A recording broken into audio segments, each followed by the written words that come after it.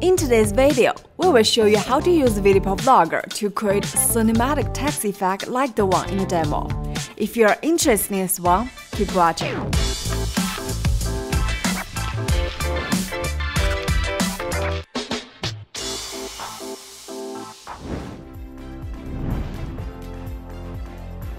To create a cinematic text effect like this, first, we need to use the text template to connect the top and bottom layers.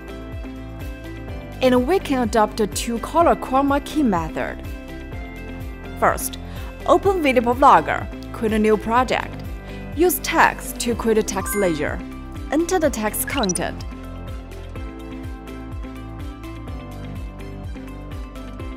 Then, change the text color to green. And zoom in on the text. Align the text with the left and right sides of the screen. Adjust offset to zero in text shadow. Next, click this button.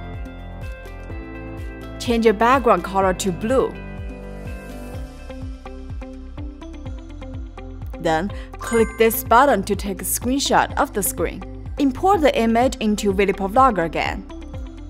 Delete the text layer and put the image you just imported into the overlay track. Make the image fit to the screen. Then, click on Motion. Add keyframe to the leftmost side of the timeline. Adjust the box so that each letter is aligned with the top and the bottom of the screen. Then, drag the box to the left so that it remains out of the frame. Add a keyframe to the far right of the timeline. Shift the box to right again so that it remains out of the frame. Then, click Apply to return to the main interface. Now we can have a text scrolling effect.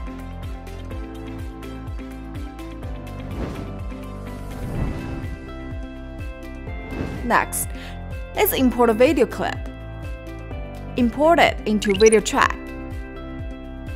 Here, to process the video better, we can click this I button on overlay track to disable the overlay track for now.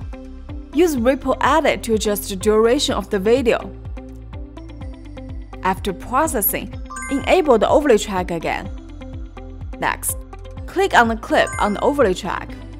Use the chroma key to remove the blue background. Here, you'll need to adjust the tolerance and smoothness values carefully and make sure the blue background is removed. Let's confirm it once again. Then, use Ripple Edit to elongate the last section of the material a little bit. And use the text tool to add some text. Find animation in the inspector on the right. Add a move effect to the text. Finally, click Export to export the video.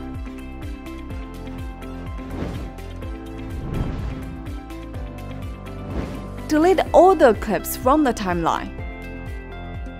Then, re-import the video you just exported into Vlogger.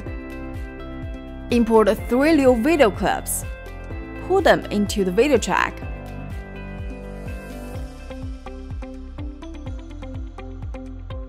Make sure they all fit to the screen. Then, put the video clips you just exported into the overlay track. Resize it. Same as before, use the chroma key to remove the green screen from the video. And carefully adjust the tolerance and smoothness values, otherwise it might affect the overall quality of the screen. Finally, add suitable background music. Now, a cinematic text effect is now complete.